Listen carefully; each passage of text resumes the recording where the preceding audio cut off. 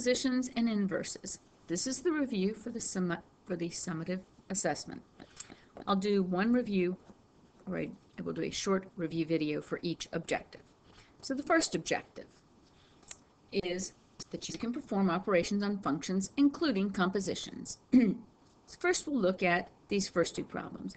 g of x is equal to 2x plus 5, and f of x is equal to x squared minus x.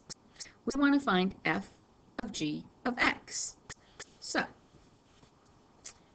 one of the easiest ways to start working on this, f of x is on the outside. So here's f of x. It's x squared minus x.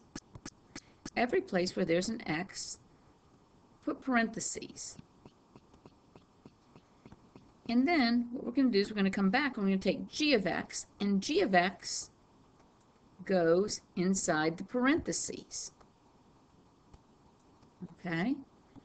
So we're going to get 2x plus 5 in here and 2x plus 5 out here. Now, you're simply going to expand and then combine like terms. Remember that this you have to FOIL. This is 2x plus 5 times 2x plus 5. And then I have to distribute this guy. So I get minus 2x minus 5. When you FOIL this one, you're going to wind up with 2x times 2x is 4, x squared, 2x times 5 is 10x, another 5 times 2x is another 10x, and 5 times 5 is 25, and we still have the minus 2x minus 5.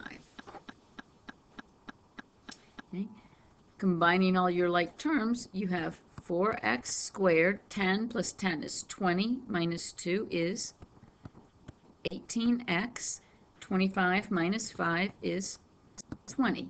Leave it there. You do not need to factor it. Remember that you're just doing the composition. Okay? Next one up, number 2, f of g of x. So this is going to be f of g of x. I'm just going to color co coordinate it like that. f of x is x minus 3, while the g of x is x minus 2. And notice here, we can simply remove the parentheses, and you have x minus 5. And you're done.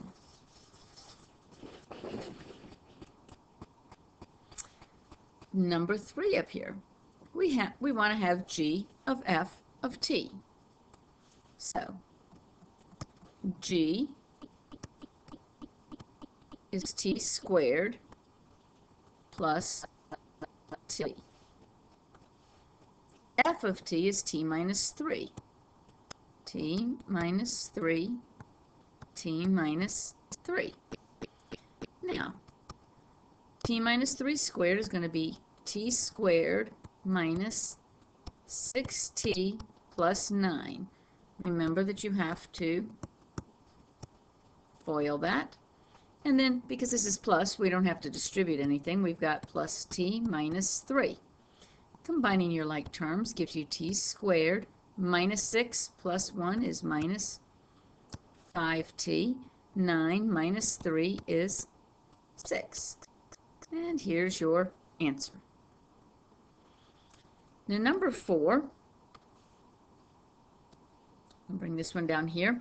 I want g of h of negative 3. So the first thing I want to do is just do h of negative 3. So I'm going to plug negative 3 in every place where I have an x in h.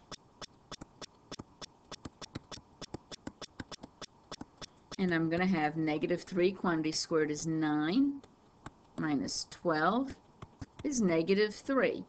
Now, negative 3 is h of negative 3. So I can do g of negative 3, and it's just coincidental it came out that way. 3 times negative 3 plus 4, that's negative 9, plus 4 is negative 5. Alrighty, here f of g of x. f of x is 3. There's my x plus 5. What is g of x? 2x minus 4. Now I have to distribute the 3, and I'm going to get 6x minus 12 plus 5. This is going to be 6x minus 7. That's it.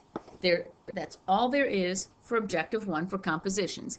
Now, on the test, you might also be asked to add, subtract, multiply, or divide um, two polynomials. And the only thing there is just using function notation. Um, for your review, mostly stress the composition because that was the new thing. Okay? That's it.